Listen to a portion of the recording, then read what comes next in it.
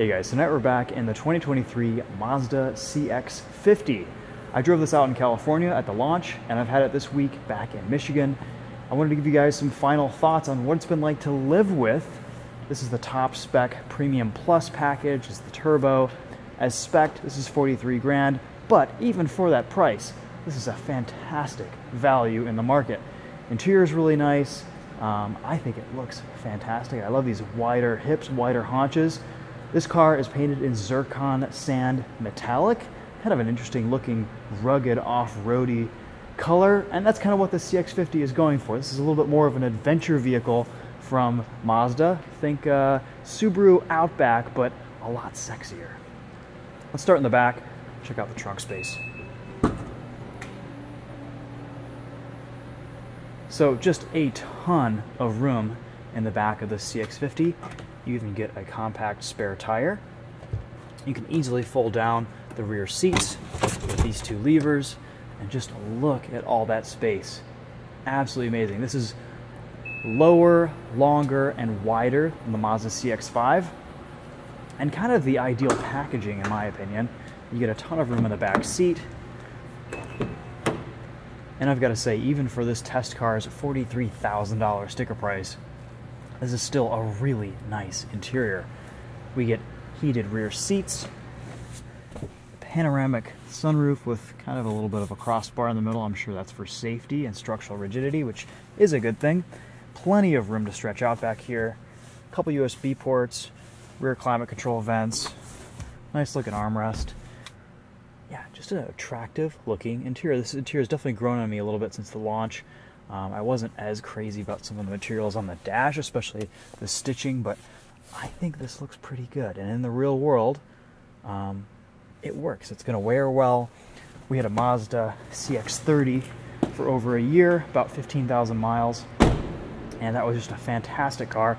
One thing I do like about Mazda is all their cars kind of feel about the same. They have the same switchgear, they have similar driving dynamics, and the CX-50 I think is one of the best cars Mazda is making these days.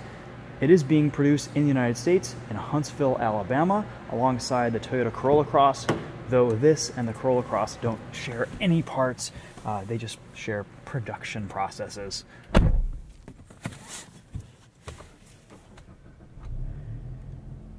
You still get the annoying seatbelt chime when you get in, but if you put your seatbelt on before starting up the vehicle, that's not as much of an issue.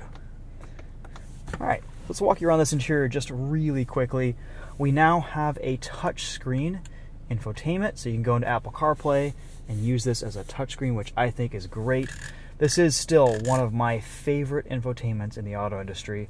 Uh, kind of taking some inspiration from BMW's iDrive. We've got a scroll wheel and then a few quick access buttons for music, navigation, home. This is a fantastic Bose premium audio system too. Definitely something I'd recommend. We have three different drive modes sport, normal, off road.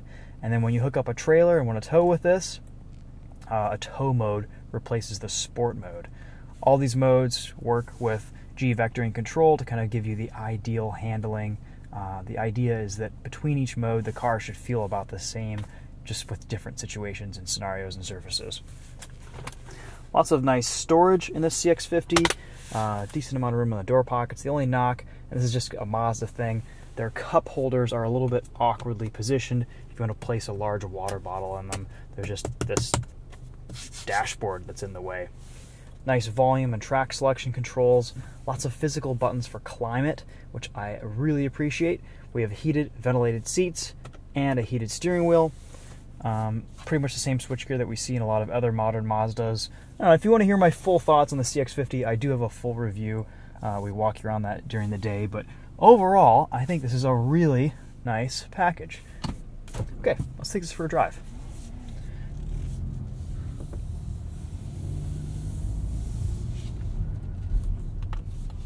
One of my few complaints of the CX-50 is just that the steering's a little bit too heavy. Um, it feels just slightly unassisted, which is a bit strange. Partially, I think that is just the blocky nature of these 20 inch wheels and tires. The sidewalls are pretty thin, um, they're heavier wheels. you know, I think on a normal 18 inch wheel, this would be a lot lighter of a steering rack and it would just kind of seem to flow a little bit smoother in low speed scenarios. So, personally, I'm not a big fan of these 20s. They don't offer a lot of protection over rough roads or off road scenarios. Uh, hit a pothole in them and you're kind of done for. Uh, but, you know, it does make the car look cool and a little bit better, in my opinion. But uh, I don't know, I think some manufacturers have gone a little bit overboard with big wheels on higher trim packages where they actually affect ride quality a little bit more than they should. Think that's the case here. So if you're getting a CX50, I would try to get a set of smaller wheels. I do really like this turbocharged 2.5 liter.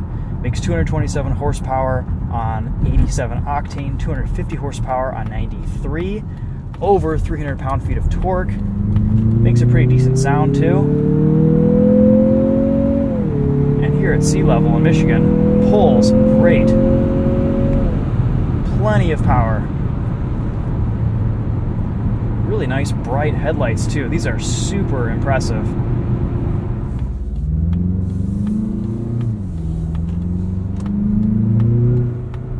Let's see how it handles here. We're not even in sport mode.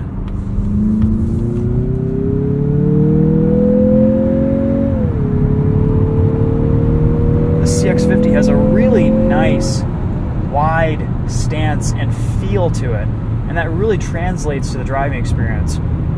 For crossover, this just feels so planted and so stable around corners. Yeah, you can switch it into sport mode if you're doing some back road driving or spirited driving. It'll change the transmission programming. It'll kind of make your turn in a little bit sharper, a little bit smoother with G vectoring control. Get a little bit more weight over that front axle on turn in just by letting off the throttle a tad. We have paddle shifters. The six speed automatic does pretty much everything you want it to. Really nice transmission.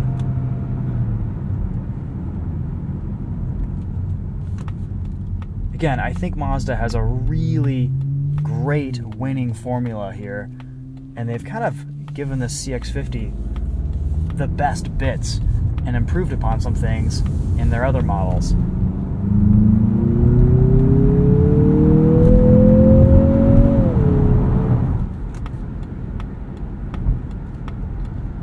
This is a pretty dark section of road coming up here. Let's test out headlight performance. Once you get going, the steering feels pretty nice. Brake pedal has a really great, firm, positive feel to it. A lot of confidence in the brakes. That is one thing where our CX30 fell a little bit short was I just didn't like the brake feel. There wasn't enough initial bite, and the brakes just felt a little bit uh, weak. The CX50 definitely fixes some of those issues. show you what this looks like in a little bit better lit parking lot too.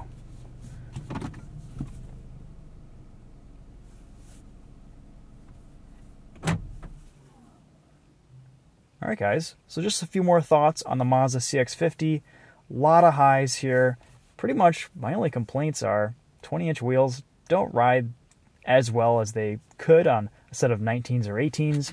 Um, steering's a little bit too heavy, but I think that's also partially the wheel choice here. That blocky sidewall uh, kind of makes it a little bit difficult to steer at lower speeds. The CX50 actually has pretty good steering, and so I think that feedback that you're getting is definitely partially uh, influenced by the wheel size. So anyway, otherwise, pretty great car. Uh, one of my top choices, very easily recommendable. Um, Zircon sand is definitely one of the more interesting colors. I'd probably swing for something a little bit more traditional, but it does look cool and definitely shows off the lines of this new CX50.